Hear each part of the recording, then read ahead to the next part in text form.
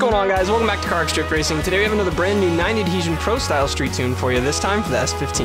Now I recently did a tune challenge on this car, but I don't think that tune was quite up to par with some of the more recent Pro Style tunes that I've been doing, so I decided to give it another shot. You guys know the drill, first we're gonna hop into some driving clips, talk a little about the car, how I tuned it and how I like to drive it, and then I'm gonna give you guys a tune so you can try it out for yourself. As always guys, if you do enjoy the tune or the video, feel free to leave a like down below, subscribe for more CarX content just like this, and I'll see you guys in the gameplay.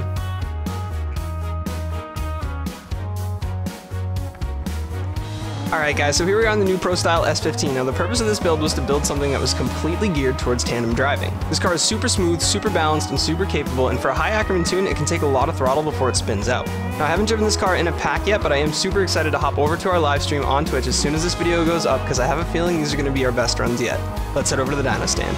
Alright guys, starting off our tune, we got body kit and wheels. We're running the Pro Flow kit on this one. And our wheels are number 11 in the RC category. Heading into the dyno stand, guys, we got a spring links at 12 and 11, stiffness at 35 both ways, fast bump at 6840 and 7250, fast rebound at 8710 and 8640, damper bump at 6830 and 7590, and damper rebound at 6870 and 6470. Toes at negative 0.3 and 0.4, camber at negative 5.66 and negative 1.09, roll bars at 0 and 5, casters at 12, Ackerman 70, and max steering angle as always. For wheels, we got 19s with 255s. We got a tire pressure at 70 and 130. Wheel adhesion is 90 both ways. Track is 3, base is 0, and we're running 25 tire profile on this one. Engine tunes all the way up. Max torque at 5211. Rev limiter all the way up. Turbocharger, yes, but air pressure at 1.7. Transmission, we got a sequential on. Diff at 0.8. Final drive at 3.99. Gear 1 at 2.9. Gear 2 at 1.4. Gear 3 at 1.1. Gear 4 at 0.95. Gear 5 at 0.9. And Gear 6 at 0.85. Brakes, we got a torque at 1000. Bias at 80%. ABS is on. Launch controls off, and we are running that ultimate setup as always. So guys, if you do enjoy the tune or the video, feel free to leave a like down below. Subscribe for more CarX content just like this, and I'll see you guys in the next one.